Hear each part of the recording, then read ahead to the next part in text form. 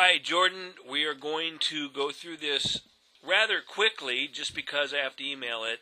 And again, I'm probably just going to say more of the things that need correcting than anything else, so don't take it too personal. One thing, as I mentioned out before today, is I think that, that the knees are just too stiff. So try to get a little bit more flexion in the knees and lower the butt just a little bit. So more flexion at the knees, almost like a shortstop position when you're playing baseball. One thing that you're going to have problems with is when you catch the ball and you're still flat footed. You can see you're still flat footed when you catch the ball. Then what you do is you mold the ball and then start your approach. The problem is this is going to take too much time, and when you have guys rushing at you, you're really going to feel hurried.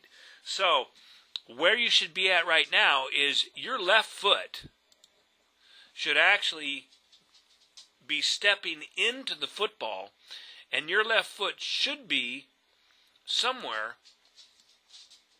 about right here at this point. So step into the ball with your left foot.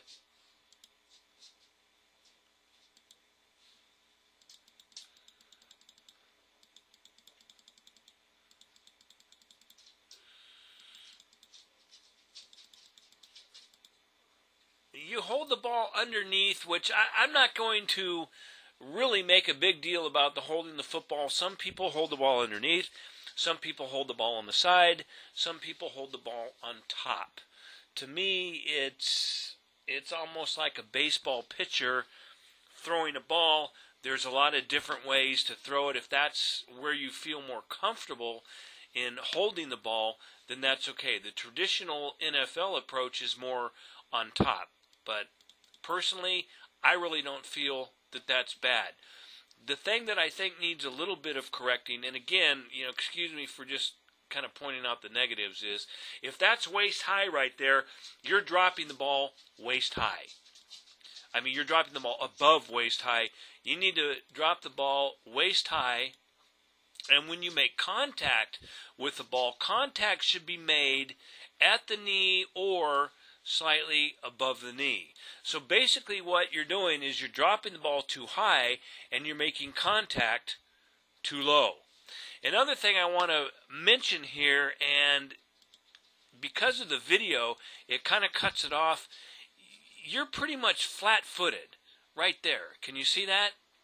Your, your left heel is pretty much on the ground.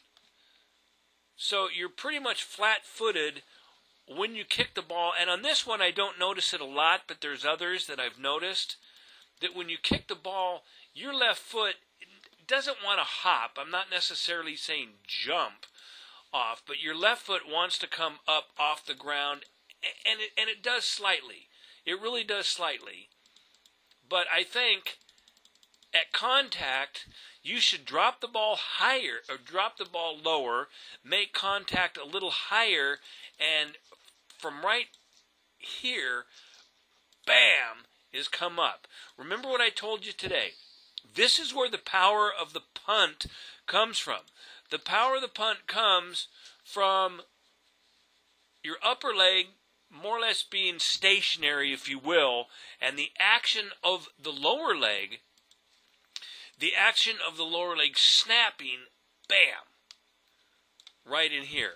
That is the quickness, boom, that you want to try to develop, wham, to come up. Everything should be up.